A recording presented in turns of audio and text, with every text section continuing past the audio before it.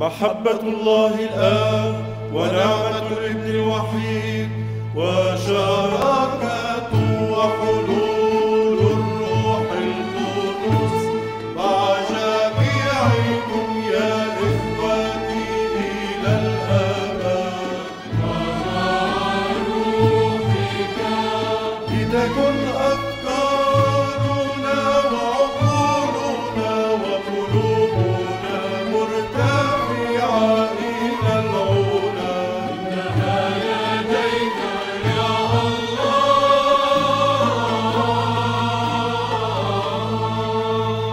لنشكر الرب متهيبين ونسجد له خاشعين.